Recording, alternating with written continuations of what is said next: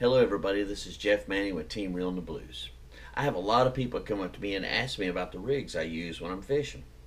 So I'm going to do a multi-part series of rigs that I use. I'm predominantly known for anchor fishing, but I do do some drift fishing, and I've had great success with both. But I'd have to say that anchoring is definitely my specialty. I have a lot of interesting rigs I use. Some I've seen other people use, but a lot of them I've never seen anybody use before. So what I'm going to do is I'm going to do a few videos, maybe one a week, maybe one every two weeks, and I'm going to talk about the type of rigs that I use. The first rig I'm going to show everybody is my take on a rig that I've seen other people use.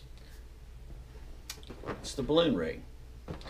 Now, I know people that uh, have watched me tournament fish have seen me every once in a while with a balloon on my boat. Well, here's how I rig them. A lot of people use this rig, but a lot of people will take this balloon after they blow it up and they'll tie it directly to the main line.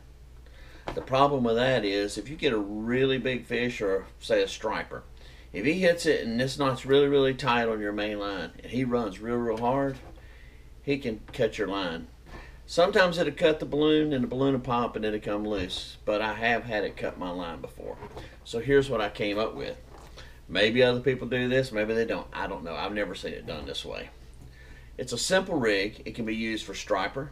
It can be used for catfish. It can be used for pretty much any fish. It can be used for live baits. It can be used for anchor baits. It doesn't matter. Any bait you want to put on here. Really simple rig. Here's my take on it.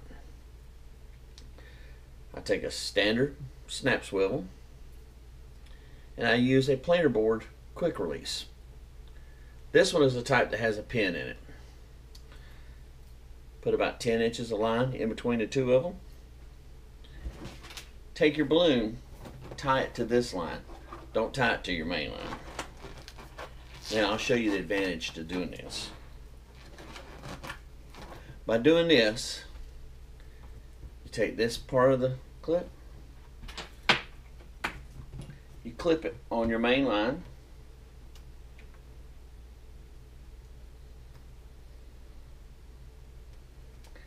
Now this is floating up and down. You take the quick release, you select the depth that you want to fish this balloon at, clip it on your line. The way this works, and the advantage of this is, when a fish does hit your rig, it pops the clip loose. Once the clip pops loose, the balloon is just sliding up and down the line. You're no longer fighting and dragging this balloon. Believe it or not, when you got a fish and you're pulling this balloon against the water, it gets pretty hard to pull. That's one advantage to it. The other advantage is when you get done, you don't want to use it anymore. Just take it off. You don't have to retie. You don't have to re-rig. Take it off, stick it in your console, stick it in your cooler until you want to use it again that day. That's one way I use it. Now, one of my favorite ways of using it is shallow water. You're in the back of a flat, got a slight wind blowing toward the back. What I do, I'll take, sometimes I'll leave the weight on there, sometimes I don't. What I'll do is I'll rig that thing up with the balloon. Again, if it's five foot deep water, I'll set this balloon three feet. That way the bait's just barely up off the bottom. You can even put a drift sinker back there if you have a lot of wind to keep your bait on the bottom. But most time I feel, you know, put a quarter ounce weight, just something to keep it down because the balloon's moving really slow. Even with a good wind, the balloon moves slow. You can take this balloon, you can feed it out 200 yards across a flat or until you spool your reel. I've done it before. Most time by accident because I forgot to, you know, to turn the handle. But hey, that's that's for another story. So you let it drift out there. You just let it drift across that flat, and then every once in a while, you'll look up and you'll see the balloon stop. And when it stops, you'll start seeing it going the opposite direction. And once the fish feels that pressure, that balloon, he'll take off. The balloon pops loose. It's still hooked on your line by the swivel. You fight the fish in, turn around, throw it right back out. You, now you know where that fish was caught because you had the balloon. You've seen exactly where that fish was. So now you can pretty much float it back to the exact same spot if you can. At night, before you blow your balloon up, drop one of those little, uh, the little breakable chem lights. Drop it down there, little glow sticks, put it inside your balloon. Use a lighter colored balloon like yellow or white or green. Drop the glow stick in there, shake it up, get it good and lit up. Now you've got this balloon that's lit up like a big giant bobber, and it slides across the water. Works great. It's a great rig. Works great for uh, catfish. Uh, you can put a live bait on it. Works great for striper. Definitely works good for gar. Uh, there's some gentlemen on Facebook, uh, the Bank Boys.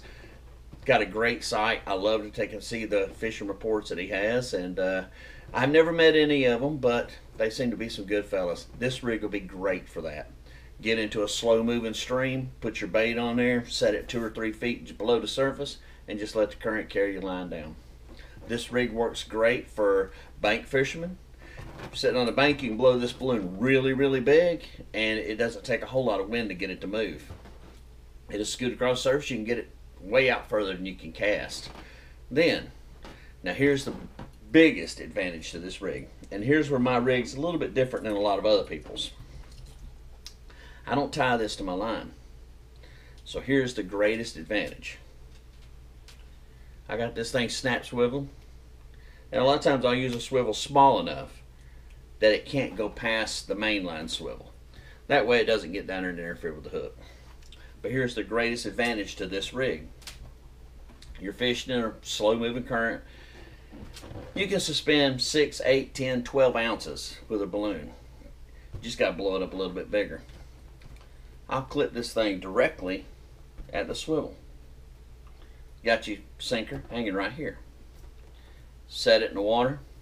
Let the current carry it down 150, 200 yards below the boat. Once I get it out as far as I want to go, I'll take and give it a good yank. When you yank it, balloon pops free. Your line goes straight to the bottom. Keep enough tension on the line to where you can see the balloon on the surface. Now you know exactly where that bait is. It's sitting directly below. It may be back a little bit, the current's a little bit high, but you know essentially where that bait's at. Let it sit there. You don't get a bite in 10 minutes. Reel it in. When you reel it in, the bait comes straight up to the balloon and then you move the balloon closer to where you're fishing at. And uh, like I say, as long as you've got that thing snap swiveled, you know exactly where it's at. So now, you got it out there, you let it set for 10 minutes, nothing's hit it. Yank it, pops the clip. It's still swiveled to your line. Now, you reel it in, the bait comes back up to the bob, to the uh, balloon. Reeled in 10 yards. Hit the button, let it drop straight back down again. Sit there for 10 more minutes. Have it had a bite. Reel it in. The, the bait comes straight up to the balloon. You reel the balloon in another 10 yards, 20 yards. Hit the button. Let the balloon drop straight down. So essentially what you're doing is you're bottom bouncing from 200 yards out back to your boat. Or you could do it the other way. You know, start at the boat and go out. But I'd rather, I always like doing mine from way out to back. So now you got the advantage of the balloon.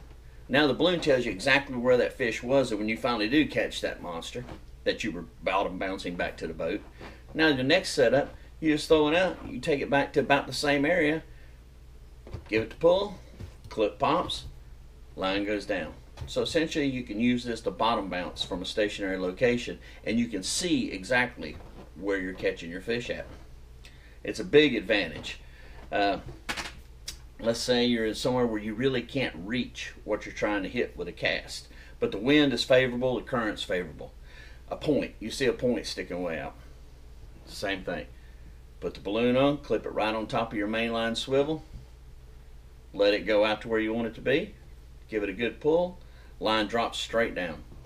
Now you see your bait, your balloon floating right above where your bait's setting. It's a great tool. Now, the only disadvantage to a balloon that I see is heavy current.